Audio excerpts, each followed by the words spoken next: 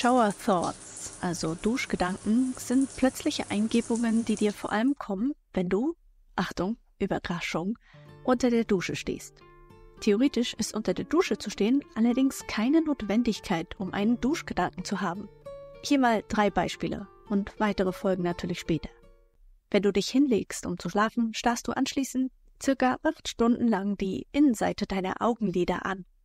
Wenn Zeitreisen funktionieren würden, würden einige Momente der Geschichte unter Übertourismus leiden. In unserer Gesellschaft hat Alkohol und Drogen aufzugeben einen höheren Stellenwert, als nie damit angefangen zu haben.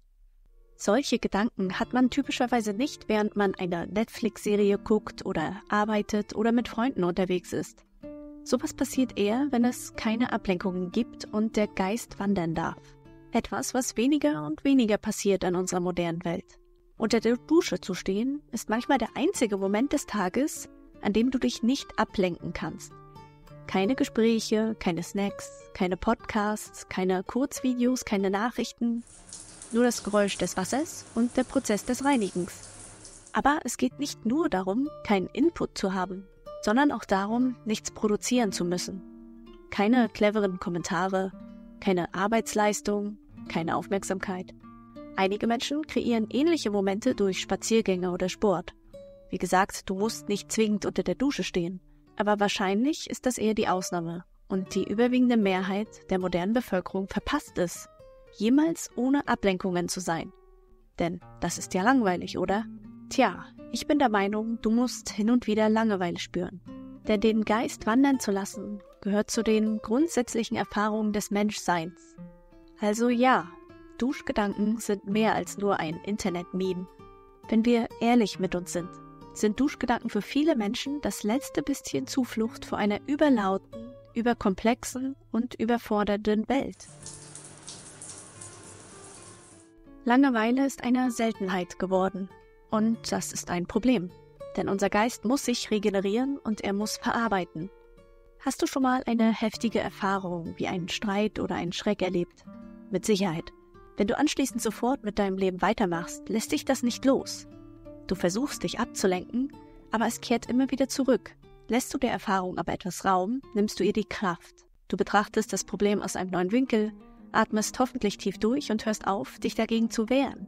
Wenn du das nicht sofort machst, stehen die Chancen gut, dass du irgendwann in deinem Leben an den Punkt zurückkommst. Dann wahrscheinlich im Büro eines Therapeuten. Klar klappt das Empfinden und Verarbeiten nicht immer. Aber wenn du die Wahl hättest, einen Spaziergang im Grünen nach einem großen Schreck zu machen oder doch mit der Bahn in die Stadt zu fahren und dich mit Shopping abzulenken, sei mal ehrlich, was würde dir wirklich gut tun? Und was würdest du wählen? Dr. Kay von Healthy Gamer GG, ein englischsprachiger YouTuber und Therapeut, hat folgendes Beispiel gewählt. Wenn du früher auf der Jagd warst und dein Kumpel trifft perfekt, du schießt den Pfeil aber ins Nirgendwo, dann hattest du anschließend viel Zeit, um diese Frustration zu verarbeiten.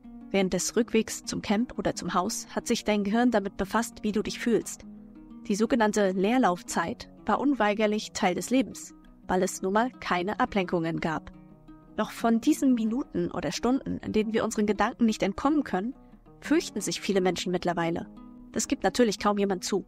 Aber nur weil es keine allumfassende, verschlingende Panik ist, heißt das nicht, dass wir nicht wenigstens stark besorgt sind, was passieren würde, wenn wir den Ablenkungen der Moderne entsagen. Und aufgepasst, nicht nur die negativen Erfahrungen sind in Gefahr. Auch deine positiven Erlebnisse sind ein Punkt auf einer To-Do-Liste.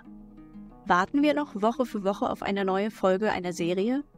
Oder gucken wir drei, vier Staffeln, ähm, Folgen am Stück? Investieren wir Zeit und Mühe in die Datingphase mit einem Partner? Oder swipen wir fleißig weiter auf der Suche nach etwas Besserem? Ist die Zeit mit Freunden oder der Familie genug, um uns gut zu fühlen? Oder muss der Alkohol schon fließen, um gemeinsame Zeit zu schätzen und Spaß zu haben? Was zu genießen heißt auch, darin zu verweilen. Das ist meiner Meinung nach der Unterschied zwischen einem Glücksmoment und dem Gefühl von Zufriedenheit. Glücksmomente sammeln wir ohne Ende. Kurzvideos, Einkäufe, Zuckerhochs oder Likes. Aber echte Zufriedenheit, die auch beständig gegen Unheil ist, die tritt nicht nur in einem Moment auf die wird aufgebaut und verdient. Wenn wir heutzutage über kreisende Gedanken oder Overthinking sprechen, ist das fast immer negativ gemeint. Oh, ich kann mich nicht konzentrieren, ich mache mir Sorgen um meine finanzielle Sicherheit. Ich kann nicht mitlachen, ich glaube, ich habe gerade etwas Dummes gesagt. Wieso bin ich nicht glücklich? Aber wandernde Gedanken können absolut auch positiver Natur sein. Oder neutral. Die Beispiele sind gar nicht so schwer zu finden. Wenn dich ein Film richtig berührt hat, denkst du doch oft noch Stunden danach daran, oder? Wenn du verliebt bist, lässt dich der Gedanke an die Person nicht mehr los. Wenn du mit deinen Freunden eine tolle Zeit hattest, kommen die Erinnerungen daran nicht immer wieder auf? Unsere Gedanken haben unfassbare Kraft über unser Wohlbefinden.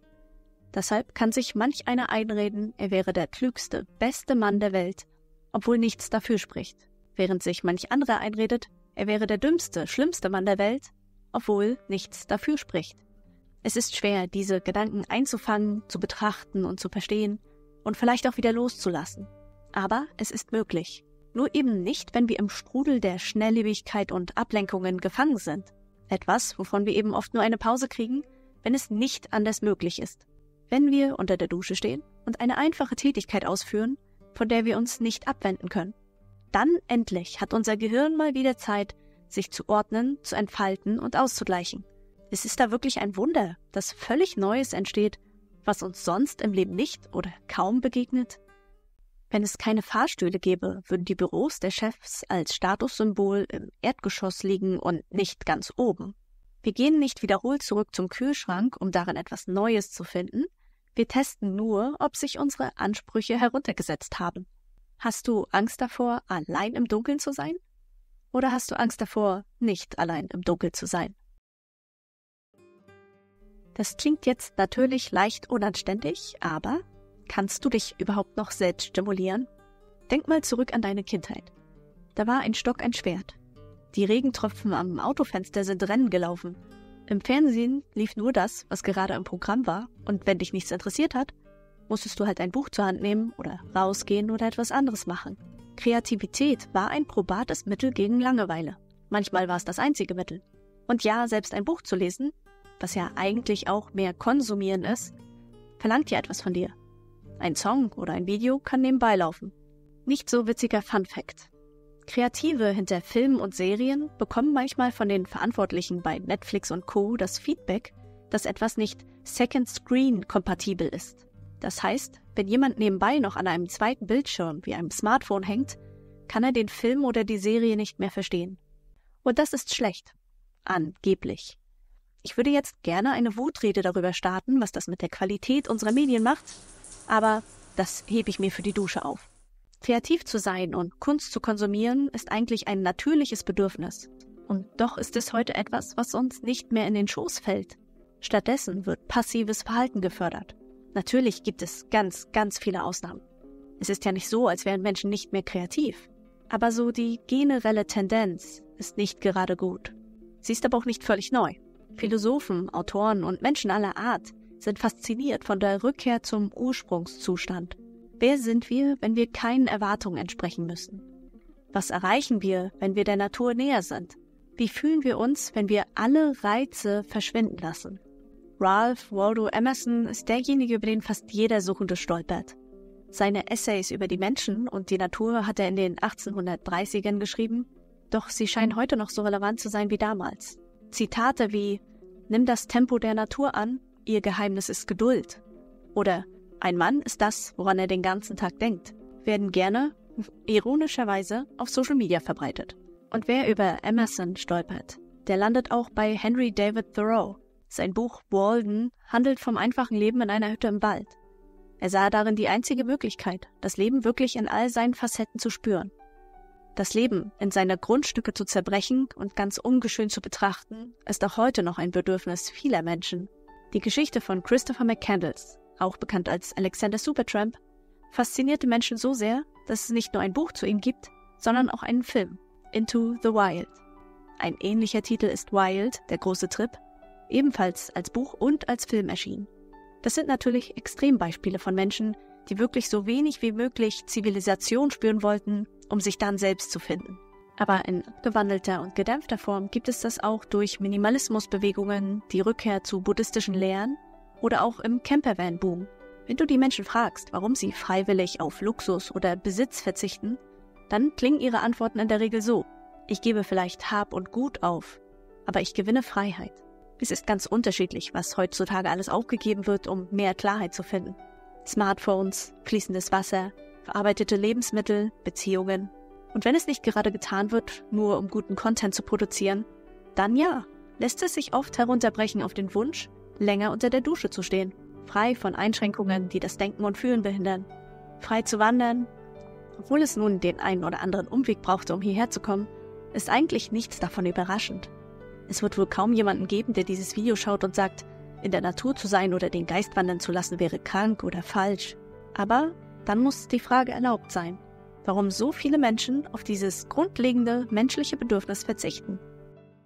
Wir denken nie daran, wie schön sich eine freie Nase anfühlt, bis sie mal wieder verstopft ist. Wer wegen nicht gezahlter Steuern ins Gefängnis geht, lebt anschließend von Steuern. Das letzte Foto, das von dir gemacht wurde, würde mit hoher Wahrscheinlichkeit deutschlandweit verbreitet werden, falls du spurlos verschwinden solltest. Der Hauptgrund dafür, dass unsere Gedanken seltener wandern dürfen, ist offensichtlich die permanente Beschallung mit Eindrücken und Ablenkungen. Aber dort aufzuhören wäre irgendwie zu einfach. Ja, die Welt ist halt laut, was sich nicht unbedingt nur auf Geräusche bezieht. Nur ist das ja gewollt. Es gibt ein unfassbares Ungleichgewicht zwischen Konsumenten und den Unternehmen, die ihre Aufmerksamkeit wollen. Auf der einen Seite stehen Menschen, die ihr Leben leben und dabei Stress spüren und Rechnungen zu zahlen haben, die sich Sorgen machen. Auf der anderen Seite stehen Menschen, deren Job es ist, sie so gut es geht zu manipulieren. Das soll jetzt beim besten Willen nicht in die Richtung von Verschwörungen abdriften, weil das muss es auch gar nicht. Eigentlich ist es ein offenes Geheimnis, dass Manipulation Teil des Alltags ist. Nestlé, Meta, Amazon, auch YouTube, die stellen ja ihre Marketing-Experten nicht ein, um freundlich anzufragen ob ihre Produkte und Dienstleistungen vielleicht für jemanden interessant wären.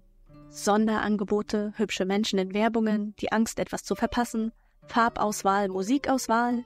Auf der einen Seite sitzen Menschen, die sich den ganzen Tag mit nichts anderem befassen als damit, wie sie jemanden zu einer Handlung oder auch Nichthandlung bewegen können.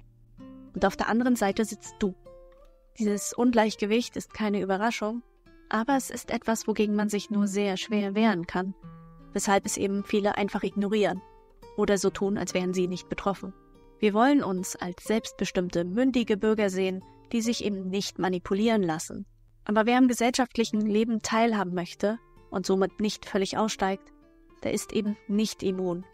Sorry, wenn du glaubst, du wärst ja die Ausnahme, weil du alles durchschaust, dann hast du nur noch nicht genau hingeguckt. Ist die Lösung also einfach auszusteigen? Für einige ja, aber für viele nicht wirklich. Da schreckt nämlich auch ab, dass viele Alternativen sehr extrem wirken.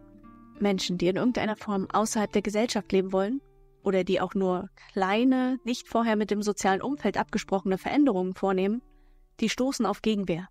Wer sich nicht totschuften will, der ist ein Sozialschmarotzer. Wer keine Kinder kriegt, ist selbstsüchtig. Wer nachhaltig leben will, der ist ein naiver Gutmensch. Es gibt ganz, ganz viele Wege, um aus dem Trott auszubrechen und wieder mehr Verbundenheit zur Umwelt, und auch zum eigenen Ich zu spüren. Aber niemand fördert das. Nicht die Schule, nicht das soziale Umfeld, definitiv nicht die Medien und schon gar nicht die vielen Unternehmen, die nach deiner Aufmerksamkeit lechzen. Die Folge ist, dass der freie Wille, mit dem du entscheidest, was dein Geist anregen soll, dir verloren geht. Mir auch. Algorithmen, Werbung und der soziale Druck sind die Herrscher der Neuzeit. Und in dieser Zeit gehört zu den wenigen sicheren Orten nun mal deine Dusche. Dieser vermeintlich antiproduktive Teil deines Tages, bei dem du nur etwas abarbeiten und erledigen musst, ist in Wahrheit wichtiger als so vieles, was uns als bedeutsam verkauft wird. Brauchst du Nahrungsergänzungsmittel, Entspannungskurse, einen weiteren Streamingdienst, ein Business-Coaching, die große Liebe, ein neues Auto, Abonnenten? Oder brauchst du eigentlich nur die Freiheit zu denken und zu fühlen? In einer Zeit, in der wir alles haben können, ist nichts zu brauchen ein revolutionärer Akt. Selbst dann, wenn es sich nur um wenige Momente handelt, in denen wir uns so fühlen. Nichts von all dem, was hier besprochen wird, bedeutet, dass nur ein Leben in einer Hütte im Wald Erfüllung bringt. Es geht nicht darum, Netflix zu verteufeln oder nie mehr von einer Werbung zu einem Kauf motiviert zu werden. Aber Duschgedanken lassen sich hervorragend sammeln. Sie werden voneinander angezogen. Ein einsamer Duschgedanke steht auf verlorenem Boden und ist vielleicht einen Tweet wert. Aber wenn sich mehrere zusammenfinden, entsteht eine Bewegung. Immer mehr Gedanken lassen sich finden, bis sie irgendwann keine seltene Ausnahme mehr sind, sondern zum Leben dazugehören und an der Stelle sitzen, wo vorher sinnlose Ablenkungen und Konsum standen. Sie finden sich dann nicht mehr nur unter einem Wasserstrahl wieder, sondern auch beim Kochen, beim Spaziergang, beim Tanzen in der Wohnung oder an einem zufälligen Mittwochnachmittag, an dem man sich auf den Boden legt und an die Decke starrt, bis die Welt nicht mehr so laut erscheint. Bevor ich noch drei Duschgedanken zum Abschluss bei dir lasse, noch schnell ein Dankeschön für deine Aufmerksamkeit und natürlich wie immer auch vielen Dank an meine treuen Patreon-Unterstützer, die all das hier am Laufen halten und auch dafür sorgen, dass ich mich traue, Themen wie Duschgedanken überhaupt anzusprechen, ohne zu wissen, ob sich irgendjemand dafür interessieren wird. Du hast noch die Chance, der älteste Mensch der Welt zu werden. Und diesen Titel könnte dir in diesem Leben keiner mehr nehmen. Die Empfehlung von acht Stunden Schlaf pro Nacht bedeutet auch, dass uns empfohlen wird, vier Monate eines Jahres zu schlafen. Ist das Geräusch unseres Weckers nicht praktisch sowas wie ein Titelsong unseres Lebens, der jeden Morgen eine neue Folge startet?